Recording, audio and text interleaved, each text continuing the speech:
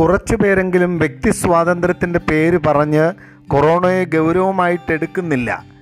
അങ്ങനെ കൊറോണയെ ഗൗരവമായിട്ട് എടുക്കാത്തവർക്ക് ഈ വോയിസ് മെസ്സേജ് ശക്തമായ പരിവർത്തനങ്ങൾ ഉണ്ടാക്കും ഇറ്റലിയിൽ പ്രവർത്തിക്കുന്ന ഒരു നേഴ്സ് കേരളത്തിലെ മുഴുവൻ ജനതകൾക്ക് വേണ്ടി അയച്ചിരിക്കുന്ന ഒരു വോയിസ് മെസ്സേജാണിത്. കേരളം കൂടുതൽ ജാഗ്രത എടുക്കണം എന്ന് ഓർമ്മിപ്പിക്കുന്ന മെസ്സേജ്. ഇറ്റലിയിലെ അവസ്ഥകൾ വിവരിച്ചുകൊണ്ട് ഈ വോയിസ് മെസ്സേജിലെ പ്രിയപ്പെട്ട നേഴ്സ് നമ്മളെ ആഹ്വാനം ചെയ്യുകയാണ് കേരളം ഒരു ഇറ്റലിയായി മാറാതിരിക്കാൻ. ശ്രദ്ധാപൂർവം നമുക്ക് ഈ വോയിസ് മെസ്സേജ് കേൾക്കാം. സ്നേഹപൂർവം ഡോക്ടർ ജോജു ജോൺ. ഈ ഇറ്റലി വന്ന പോലെ ഒരു അവസ്ഥ നമ്മുടെ കേരളത്തിൽ വന്നു കഴിഞ്ഞാൽ എന്താവും ചിന്തിച്ചിട്ടുണ്ടോ ആരെങ്കിലും? ഇറ്റലിയിലെ ഒരു ഒരു ട്വന്റി ഫൈവ് പെർസെന്റേജ് ആൾക്കാരും എൺപത് വയസ്സിന് മേളിലുള്ള ആൾക്കാരാണ്. ഇപ്പം അവരോട് പറഞ്ഞേക്കുന്നു ഞങ്ങളോടൊക്കെ പറയുന്നത് അവരെ ഒന്നും ട്രീറ്റ് ചെയ്യണ്ട. അവരെ വിട്ടേക്ക്. അവർക്കൊന്നും ചെയ്യാനില്ല എന്ന് അതിൽ താഴെയുള്ളവരെ എൺപത് വയസ്സിന് താഴെയുള്ളവരെ മാത്രം അഡ്മിറ്റ് ചെയ്താൽ മതി. ഹോസ്പിറ്റലിൽ അതായത് വെന്റിലേറ്ററും റെസ്പിറേറ്ററി ഒരു ഒരു സാധനങ്ങളും ഇല്ല ഇവിടെങ്ങും. ബെഡില്ല ആൾക്കാരെ കിടത്താനായിട്ട് ബെഡില്ല എല്ലാ ഐ സിയുകളും എല്ലാം എല്ലാ വാർഡുകളും എല്ലാം അടച്ചിട്ട് ഐ സിയുകളും ഓപ്പറേഷൻ തിയേറ്ററുകളും എല്ലാം വീണ്ടും റെസ്പിറേറ്ററി ഐ ഐ സിയുകളാക്കി മാറ്റി. വാർഡുകളിലും അതിന് ഓരോ മുറികളിലായിട്ട് അതിനൊക്കെ സൗകര്യമുള്ളിടത്തോട്ട് മൊത്തം വെന്റിലേറ്ററും എല്ലാം ആക്കി. ഇപ്പം അവർ കുറേയൊക്കെ ആദ്യമൊന്നും ഇല്ലായിരുന്നു.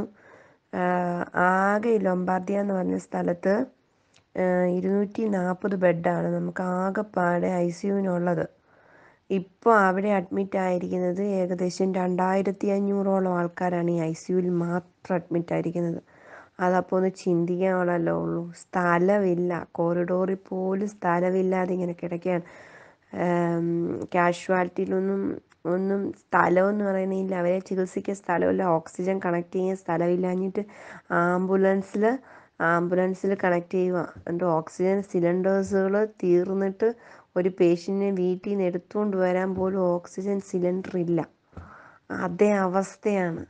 കണ്ടു നിന്ന് കഴിഞ്ഞാൽ നമുക്ക് സഹിക്കത്തില്ല. ഞാനൊക്കെ ചെയ്യുന്നത് വലിയ പാവം തന്നെയാണ്.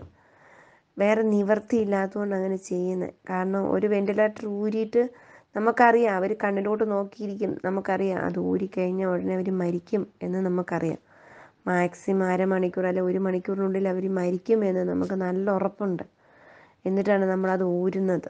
ആ ഊരുമ്പോൾ അവരുടെ ആ ദയനീയമായ നോട്ടം അവർക്ക് ലാസ്റ്റ് വെള്ളം കൊടുത്തിട്ട് അത് ഊരി ഇപ്പുറത്ത് കൊണ്ടുവന്ന് വേറൊരു പേഷ്യന്റിന് വെക്കുക ഇച്ചിരൂടെ പ്രതീക്ഷയുള്ള ഒരു പേഷ്യന്റിന് വെക്കുക ആ പേഷ്യന്റ് വെച്ച് കഴിഞ്ഞിട്ട് അപ്പം എന്നിട്ട് നമ്മൾ അത് വെച്ചൊന്ന് കഴിഞ്ഞ് അത് സ്റ്റേബിളായി കഴിയുമ്പോൾ നമ്മൾ അപ്പുറത്ത് നിന്ന് നോക്കുമ്പോൾ തന്നെ ആ പേഷ്യന്റ് മരിച്ചിട്ടുണ്ടാവും. ആദ്യം ഊരിക്കൊണ്ട് വന്ന പേഷ്യന്റ് എന്നാ അവസ്ഥയാണെന്നറിയാമോ? അതിനെ പായ്ക്ക് ചെയ്യുന്നതൊക്കെ ആ ഒരു നമ്മുടെയൊക്കെ മാനസികാവസ്ഥ ശരിക്കും അയ്യോ അത്രയും ഒരു അവസ്ഥ ദൈവമേ കേരളത്തിൽ വരാതിരിക്കട്ടെ.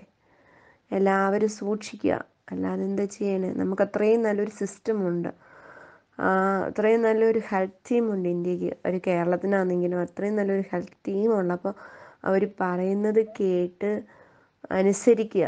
അല്ലാണ്ട് അതിന് അതിനെ രാഷ് രാഷ്ട്രീയവൽക്കരിക്കുകയോ അതിന് വേണ്ടിയിട്ട് അങ്ങോട്ടും ഇങ്ങോട്ടും കടിപിടി കൂടുകയും അടിയും വഴക്കും ഉണ്ടാക്കാതെ അത് എന്താണെന്ന് ഇതിന്റെയൊക്കെ ഇതിന്റെയൊക്കെ തീവ്രത എന്താണെന്ന് നമുക്കൊന്നും താങ്ങാൻ പറ്റത്തില്ല. നമ്മുടെ ഒരു കുഞ്ഞിൽ കുഞ്ഞു സംസ്ഥാനമാണ്. നമുക്കത് താങ്ങാനുള്ള കെൽപ്പില്ല.